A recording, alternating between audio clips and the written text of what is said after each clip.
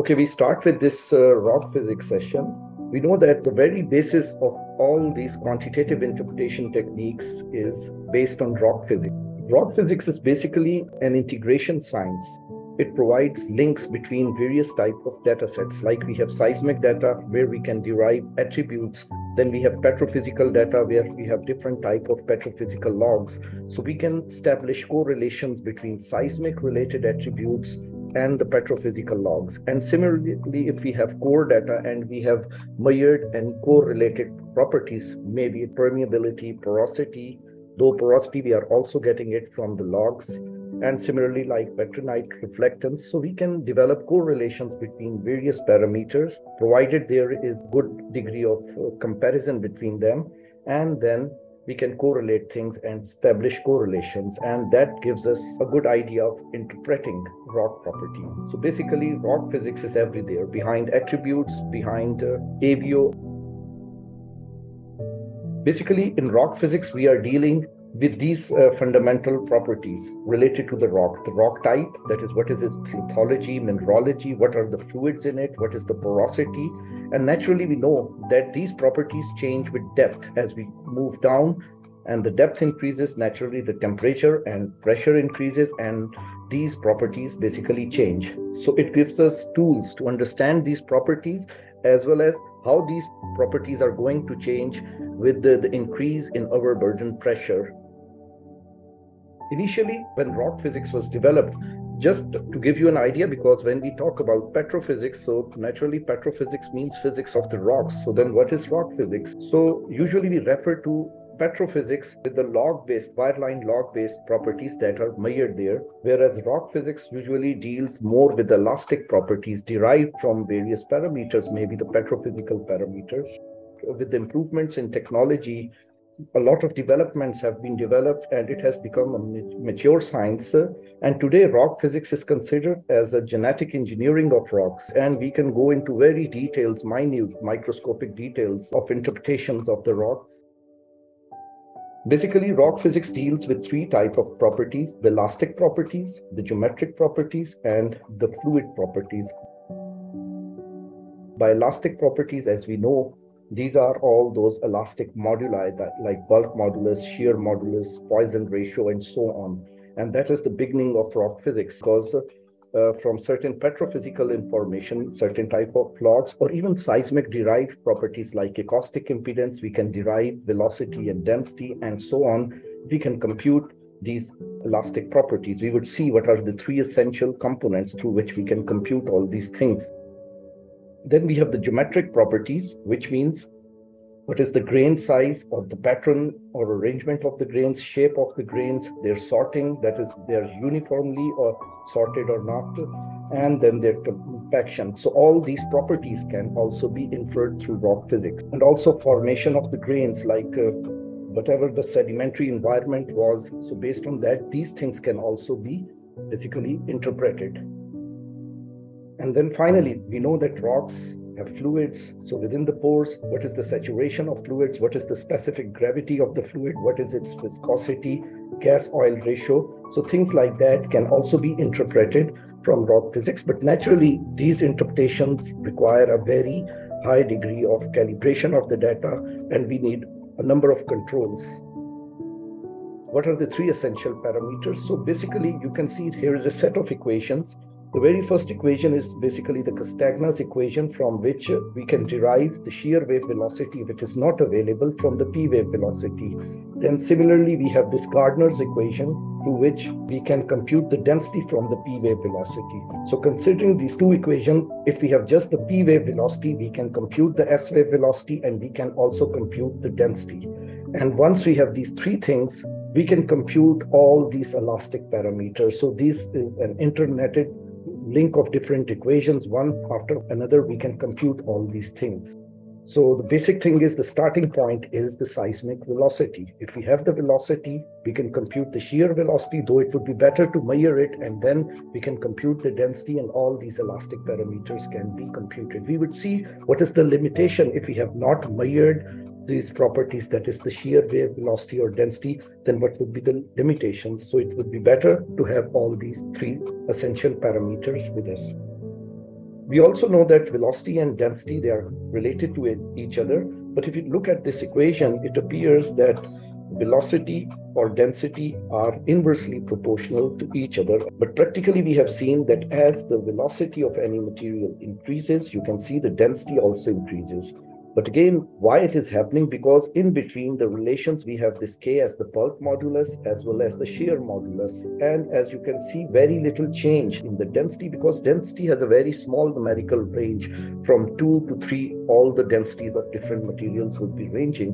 So very small change in density accounts to a very much larger change in the bulk modulus and shear modulus. Since in the equations, these terms are on the upper side and this is dividing it. So it means naturally when this rho density is increasing, the bulk modulus and shear modulus are increasing numerically with a much higher value and therefore value of velocity increases with the increase in density. Okay, let's see the big picture. We know that the rock has these three important components. It has a lithology, which means the mineralogy of that and that makes the rock. And similarly, it would have certain amount of porosity, and within the pores, we would have fluids. So these three properties define the rock. And because of these three properties, we have the elastic properties of the rock, which we also called as the rock physics properties or parameters, which are again the bulk modulus, shear modulus, Poisson ratio, and so on, all these moduli. And because of these moduli, we get the velocity and density in the rocks. And we know that if we multiply the velocity and density, we get the acoustic impedance. And from that, layer by layer, we can compute the reflectivity series, convolve with the wavelet, and we are getting a seismic signature or a seismic trace. Here I'm mentioning forward modeling because in the real Earth, if we have this rock, it would have its elastic properties and because of these properties we would be having velocity and density. And if we do the seismic or a source wavelet we ge generate waves we would get the seismic response because of that. But here i'm mentioning forward modeling. It means on the computer now there are algorithms. If i define lithology porosity and fluid i would get the rock properties this would be called a first step of the forward modeling. And then if I further forward model it, I would get the velocity and density, acoustic impedance, reflectivity series, convolve with a wavelet, and finally I would get the seismic trace. So this is basically in the real Earth happens, and on the computer we can also simulate the same thing. And this is when we make a synthetic seismogram, this is also happening, and we would see in AVO analysis, we can also do the forward AVO modeling and we would generate seismic gathers in a similar way. Now moving towards the reverse direction, if we have the seismic trace, we can move in the reverse direction and we can compute the acoustic impedance. And from the acoustic impedance, we can break it into velocity and density. And once we have these two components, we can further move backwards and we can compute the elastic parameters and further move back and we would get the lithology, porosity, and fluids. So this inverse modeling is basically called inversion. Usually when we talk about inversion and people say that we have done inversion, that is just the very first step, that from seismic, we have moved to the acoustic impedance. We don't have any practical use of the acoustic impedance unless we move towards the rock properties because originally we are interested to reach here. So basically, that was the first step, and we have to move further and ultimately hit certain rock properties. It may be porosity, its ductility, or its uh, lithology, or its fluids, anything we can do. So this is the complete picture like this. This is what is happening in the real Earth when we have the data then we can step by step move in the reverse direction. Okay, let me tell you, we are moving it here like in the reverse direction, but practically we don't have any algorithms that allow us to practically move here. What we are doing basically, we can sometimes do forward modeling like in uh, seismic inversion, usually what we are doing, we are generating a synthetic model of the acoustic impedance, generating the seismic from it, comparing it with the real seismic, whatever is their errors, we compensate those errors. And in the next iteration, we again update the acoustic impedance model and generate the seismic response and get the error difference between the real seismic response and the synthetically generated seismic response. And whatever is the errors, based on that, we again update the acoustic impedance model. In this way, these iterations continue and we keep on updating the acoustic impedance model until there is a minimum error difference between the synthetic seismic trace and the real trace. And in this way, finally, we infer that the acoustic impedance model that we have generated is giving us a seismic response which is closely matching the real seismic response. So, therefore, the real Earth must be having a similar acoustic impedance. So, basically, this is how inversion is being performed. So, usually, as I mentioned, in rock physics modeling, we can have fluid substitutions that we just define a rock that it has saturations of the fluids, which are oil, gas, and water. And we also define the lithology. And from these things, the computer would model all these elastic parameters. And from these, we would get the seismic velocities. And then we can generate a synthetic seismic from that. I always used to say that seismic uh, velocity is the basic parameter of seismic. It is basically the contrast for the seismic method. And all the signatures of the rocks are basically hidden within this single parameter. So it is the overall representative of the rock unit, which is the lithology, porosity, fluids, and everything. And we have to decode this information from the seismic. So, like I mentioned, from seismic inversion and all these tools, we can extract the precise information to get the rock properties. But we have to be careful what would be the tools that we need to extract a specific information from the rock. So you can see here we have the rock layers. And from this interface, we are getting a seismic trace from that. But what is when we do the inversion, we get the acoustic impedance, and we compare it with the petrophysical properties, we get the velocity information and we get the rock physics and attribute tools. And through that, we can interpret what is the lithology, porosity, fluid content, and so on. So basically, this is how this overall workflow deals with resolving the problems and interpreting the things in terms of quantitative interpretation. Here I'm just giving you a model. We can see this is the landward side and this is the seaward side. And as we know, here we would be having a high energy level.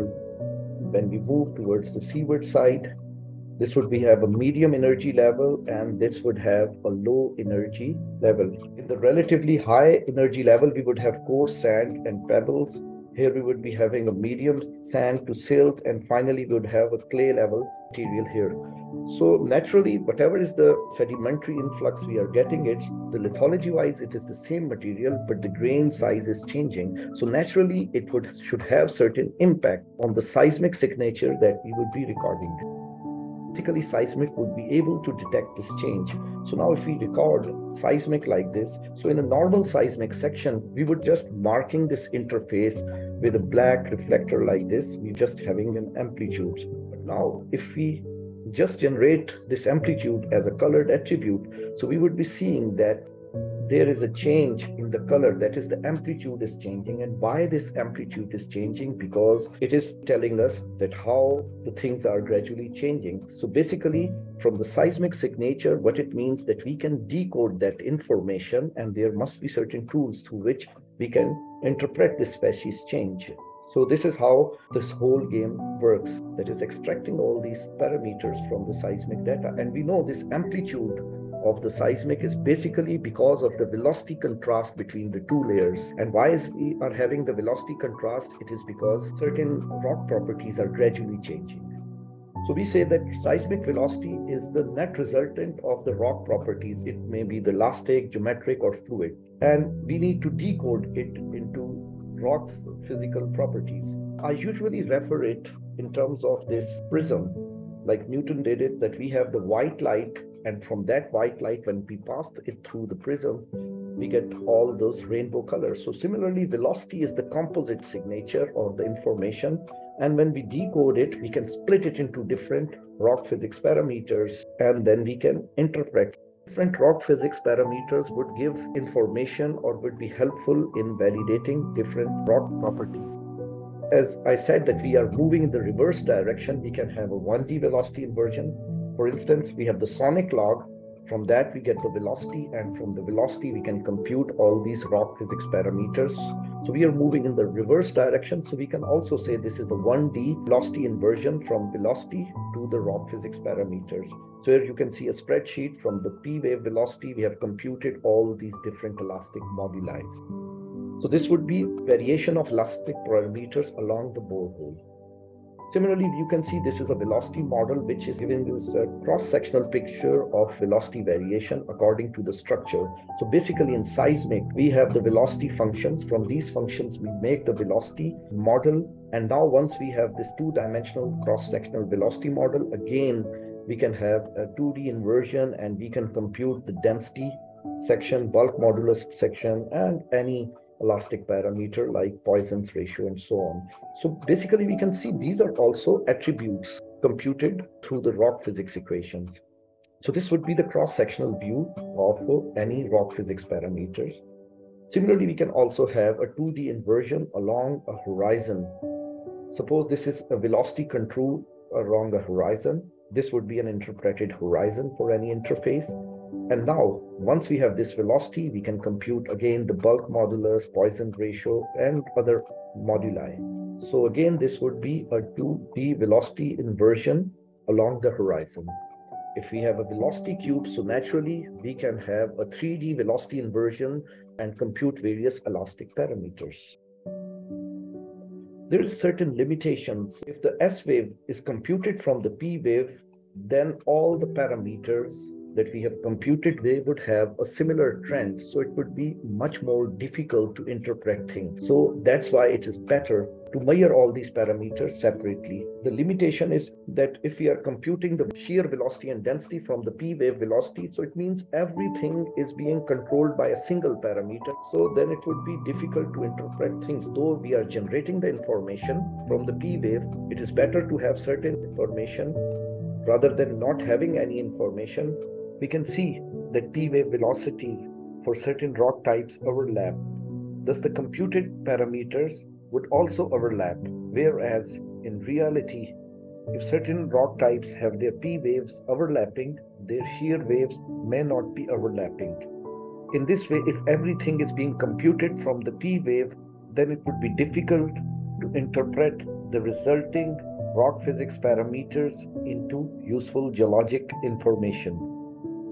The solution is to conduct three component 3C seismic surveys, which provide P as well as S wave velocities.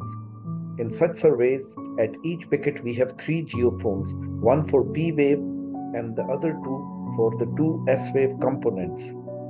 Such surveys would be useful because S wave velocity ranges of various rock units show a different trend as compared to the P wave velocity ranges. Thus, each rock physics parameter computed from measured P and S wave velocities would show a different trend. A combination of such rock physics parameters will help in more reliable geologic interpretation. Alternately, we can also use seismic inversion techniques, which will also involve integration of petrophysical logs.